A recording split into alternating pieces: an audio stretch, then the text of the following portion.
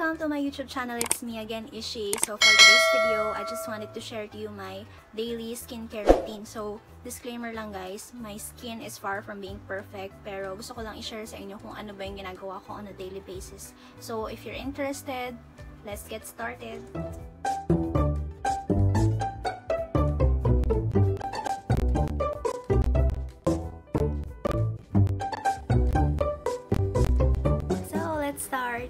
First, I wanted to show you what I use in my underarm.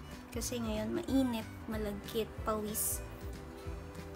I use this uh, Lay Bare. Actually, pang exfoliate siya. Pero since maganda siya sa kilikili ko, hindi ako nagpapawis. At the same time, hindi nangangamoy yung kilikili ko dito. So, this is exfoliating cream. Sabi dito, every night siyang ginagamit. Pero ako, after ako naliligo, ginagamit ko siya. So, exfoliating cream, natural exfoliant with anti-irritant properties. Kasi marami akong um, tawag dito, chicken skin sa aking underarm dahil yun sa pag-shave. So, dapat nagpapawax talaga at hindi dapat nag-shave.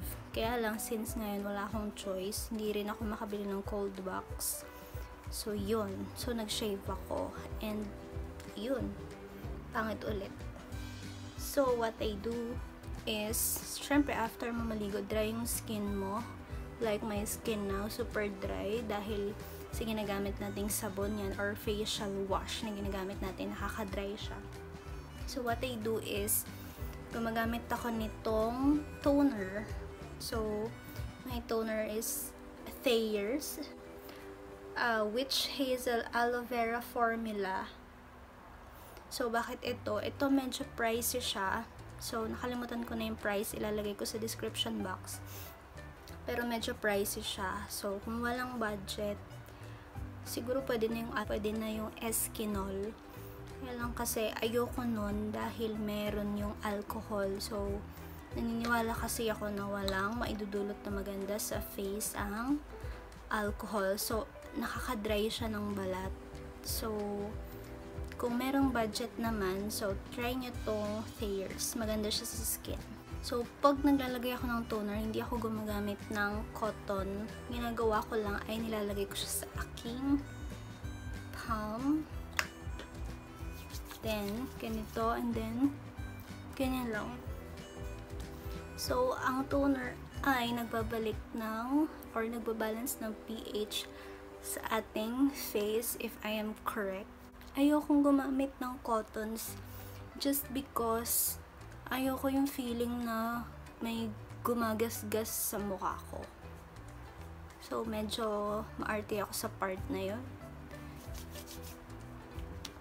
And then next, ang ginagawa ko na is naglalagay na ako ng moisturizer. So, my moisturizer is this one, Lux Organic. So, this is a Lux Organic Soothing Gel for all for all types of skin.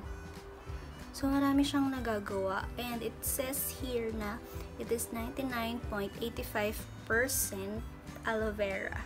So, ginamit ko na rin to once sa hair ko since nagkakadandruff nga ako ngayon. Dry ko siya sa ulo ko. Actually, maganda siya. Tsaka malambot siya sa hair. So, these are the benefits. Nakaka-moisturize siya ng dry skin. Pwede din siyang body care. Soft and moisturized skin din sa katawan. And then, hair treatment for dry hair. Aftershave gel, nail care essence, and suits sunburn. So, marami siyang use. And, nakalagay dito, made in Korea siya. So, we all know na kapag uh, skincare ng Korea, maganda siya, di ba? So, nakalagay din dito, cruelty-free. So, ibig sabihin, walang na-harm na animals upon testing this product. And, this is paraben-free, alcohol-free, and no artificial color. So, paano ko ba siya nilalagay? Medyo medyo messy ako maglagay nito kasi dinadamihan ko talaga mga ganito ganyan Tapos, nalagay ko lang siya all over my face. Kulang pa.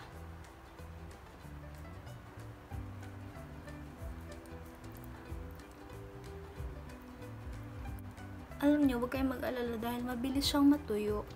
Ang consistency niya is parang siyang gel. Nalagay ko rin dyan. Nilalagyan ko sa aking leeg.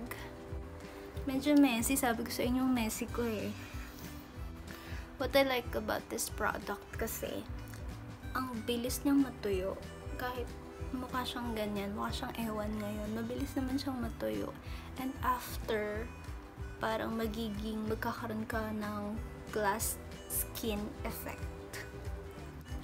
Syempre, syempre, dapat patuyuin mo siya. So, you have to wait for at least siguro mga 5 minutes para matuyo siya. Kasi medyo madami akong nilalagay nga. Okay, so, tuyo na siya after mga 5 minutes. Hindi pa siya totally, totally tuyo, pero pwede na yan sa akin. So, next, ang ginagawa ko is, syempre, maglalagay ka ng lip balm muna. So, what I use is this lip balm The brand is Apollo in the shade of Pretty Pink. Sabi di, gawa siya sa petroleum jelly, sourced from the USA, formulated with vitamin E, and of course, paraben free. So, this is very cheap. Wala pa siyang 50 pesos. And since ikaw yung magde-decide kung gaano kadami yung ilalagay mo, matagal mo siyang mauubos. So, ito siya.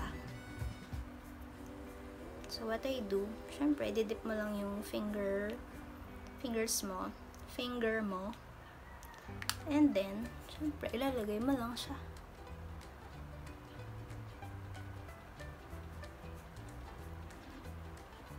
This is tinted. Meron siyang kulay. Hmm, 'di ba? Para ka nang nag-lipstick. So, after, ang ginagawa ko na is, of course, maglalagay ka ng sunblock. Hindi ako lumalabas this summer since lockdown. Hindi tayo pwedeng lumabas. Pero kasi, ang sabi, yung kahit nasa bahay ka, dapat naggumagamit ka pa rin ng sunblock kasi, lalo na ngayon summer, so, parang naapektuhan pa rin yung skin natin sa init. And of course, yung mga ilaw sa phone, nakakakos din daw yan ng pag-iitim ng balat. So, I advise na gumamit ng mga sunblocker kahit hindi SPF 50, kahit yung mga normal lang na sunblock kung nasa loob ka lang ng bahay at hindi ka lumalabas. Also, advice ko dun sa mga mamis na nagluluto, dapat din talaga kayong mag-wear ng sunblock kasi yun yung pinagmumula nung nag may nag-iitim-itim. Parang nagpapatsi-patsi yung skin nyo. Ako, ang ginagamit kong sunblock is this Spix G Sunblocker Gel. This one. So, ito, yun nga, gel siya. So, mabilis lang din siyang matuyo. Ganito siya. Paubos na siya. So, kuha lang ako ng konting-konti lang naman. yun. So, konti dito, dito, dito. Ano mo niya? Wala naman siyang palang amoy. So, konti lang nilalagay ko. Sobrang init ngayon. Grabe. Tapos, ang mahal ng kuryente. Ano na? Meral ko kapag di ka naman nag-aircon, para ka namang nililitsyon. Pag nag-aircon ka naman, ang mahal ng kuryente. Next na natin ay nasa last step na pala tayo ng ating daily skincare routine. So, ito talaga ang nagpaputi ng aking face. So, this one, ito ang ginagamit ko, Pond's White Beauty Pearl Cream. So, this is, I think, 69, 68 pesos. Parang ganun. Mura lang siya. Matagal ko na siyang ginagawa or ginagamit. Dati, ang ginagamit ko yung sachet. Pero since na-discover ko to, ito na talaga yung ginagamit ko. Uh, hindi ako nagpa-foundation. concealer in everyday basis. Pero ito lang yung ginagamit ko. This one. At saka ito palang uh, pearl cream na to, kapag hindi ka nag-moisturizer, nilagay mo lang siya diretso sa skin mo na uh, dry pa yung skin mo, hirap niyang i-blend. So, ideally, dapat mag-moisturizer muna kayo bago niyo to ilagay para blendable siya agad. Or kung sa makeup, dapat may primer. Or kung wala talaga, bala kayo, mahirapan kayo mag-blend.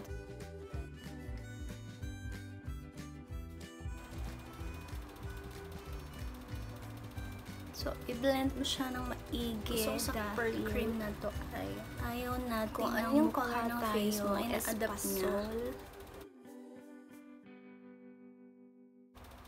Ayan. Face mo, ina-adapt niya. Kino-correct niya mo. Pantayin mo siya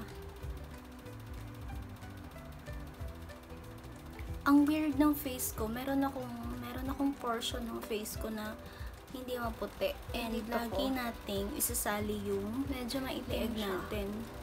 Even pag naglalagay ng moisturizer or anything, foundation.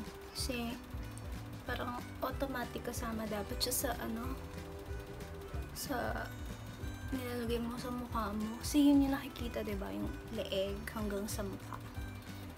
Eh, paano kung ang puti-puti ng mukha mo, tapos yung leg mong itim, para kang pugot na ulo, girl.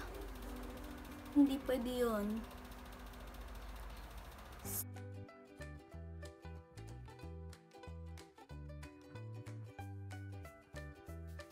What I usually do kapag puti lang yan ngayon, hindi super init. Eventually, mag-set ko lang siya.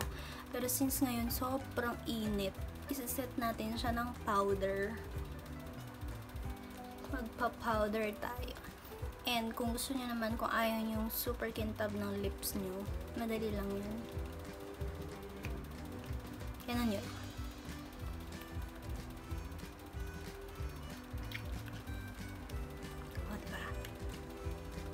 Nabawasan yung kintab. At the same time, na moisturize nyo yung inyong kamay.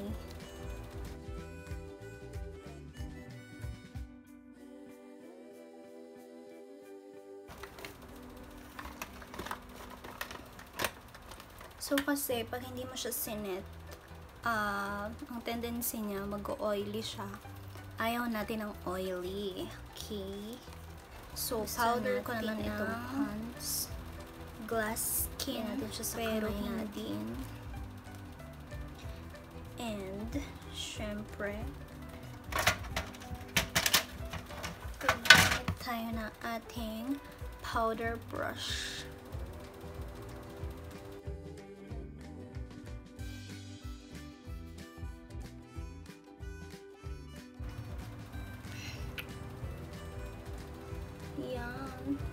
on a daily basis, hindi ako nagkikilay. So, yan lang yung ginagawa ko. Hindi ako nagkikilay. Arte-arte lang kayo.